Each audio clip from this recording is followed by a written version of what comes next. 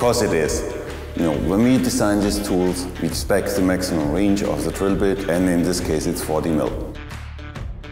We then extensively test them in our facilities versus their corded equivalent and make sure that they meet the user's needs.